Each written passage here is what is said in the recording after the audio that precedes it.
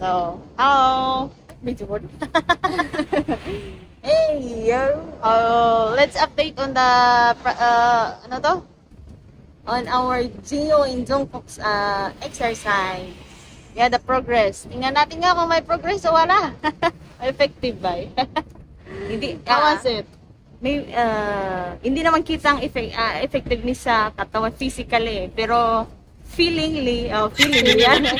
Feeling. The feeling Is great. good. Siyempre, Yeah. dati, yung ang sakit ng paa mo kasi ang bigat mo na, ang bigat-bigat mo, nararamdaman naman man ng paa mo yan eh, pagka bumibigat ka na eh. Nahihirapan ka ng ano? Kaya, Nahihirapan ka ng kasi up and down sa stairs. Yeah, kasi kaya- sa part ko, medyo malaki ang thigh ko. So, pagka nag-gain ako ng weight, tumataba ako, na, na nararamda, kahit hindi ko man masyado naramdaman in the upper part, pero yung paa ko, ah, pag, if ever I'm going to walk on a short, uh, short uh, steps, I feel like I'm carrying lots of things, but even though I'm not carrying anything, my feet is so painful and it's so very hard to walk. So I said, oh yes, I'm gaining. Yeah, my legs is uh, so basta masakit masakit siya na parang pagod agad. So I said, so that's what I think. That's what I. I've been thinking that I gained a lot already. So Okay, I'm tired. I need to exercise. But now I feel Okay. better for uh, almost one week doing this exercise, even though it's just a three kind of exercise. But uh, I feel better. Okay. Let's do Me too. I feel better. Okay. Let's do it. Now let's start. Let's get started. Three exercise. Three types. Three sets. Three types. Uh, half stance. Half stance squat. Then wide stance squat. Or the frog, frog style. And then the lying part. The butterfly. Maybe we can. This would be the seventh day of this exercise. So let's keep going and let's be healthy. Urehaan niya sexy. Yes. But we have to wear a mask. You know?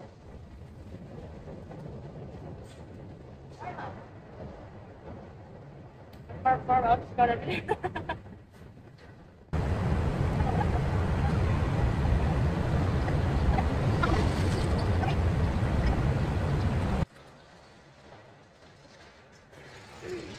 Start now. In doing this po, uh, okay, may ano ka tanong ko yan. In doing this part, uh, the, uh, you don't need to overdo.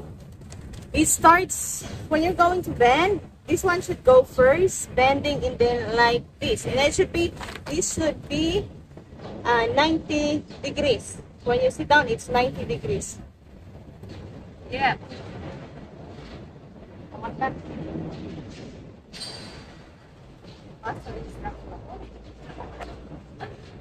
This is the this is the first exercise and we were going to take in three sets again like last time. Every set is 20 counts. It's 60 counts in one exercise something like that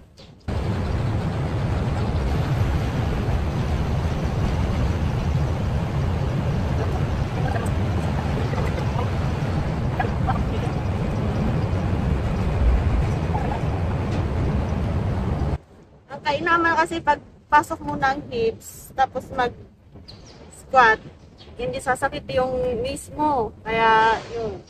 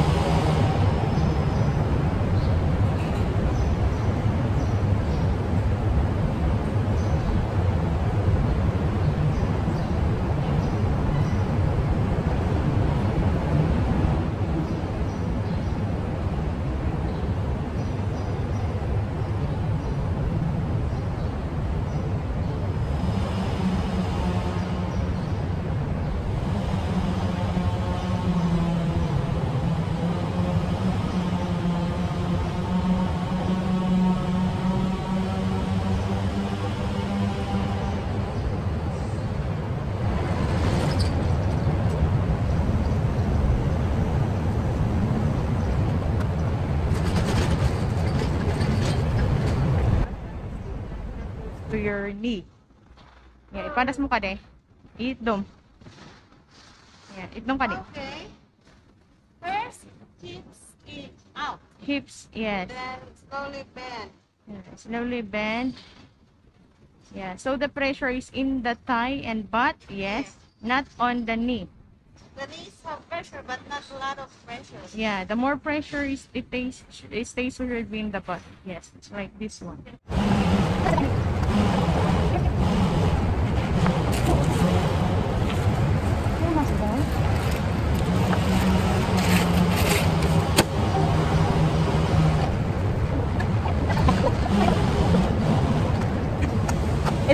Nakuha namin kasi malaki yung mat and nakalimu ah, isa pa nakalimutan namin it should be doble namin kasi masakit sa chan yung yung floor.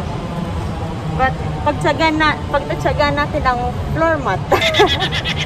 Yes, Roman. ay I mean Picnic mat. Para sa ang picnic mat. No, no.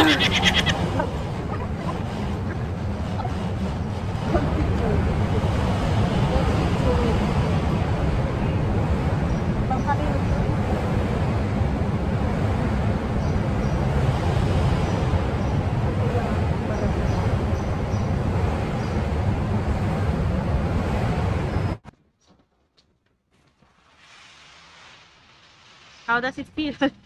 It's good. Butterfly butterfly position.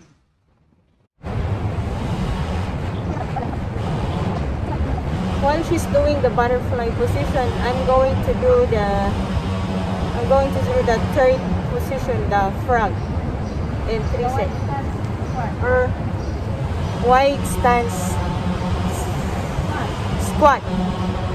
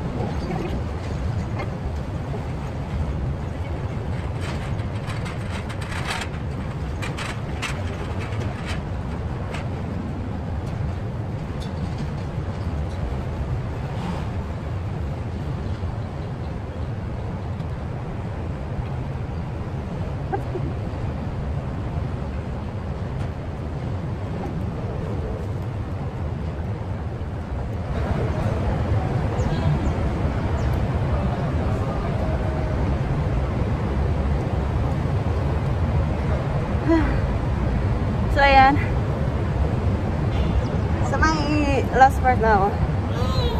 Wide stance. Squat. Ganyan yan. Ah, so...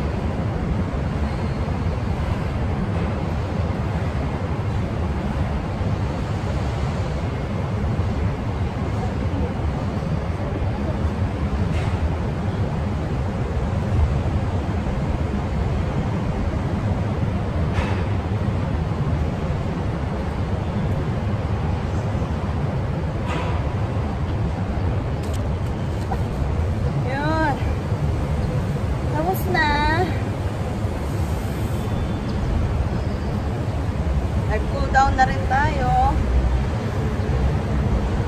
Eh, hindi pa siya tapos, oh. Na-enjoy pa niya. Hindi nga nag-boost. Posing ka lang. It's time to say goodbye na. Ha!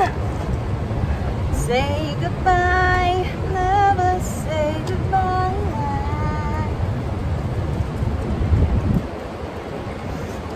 No, no, no, no.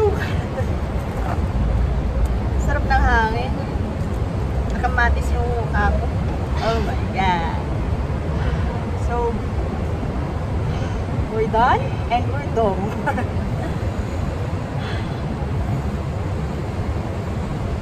Mostly yung exercise na nagawa natin is pang lower part, ano.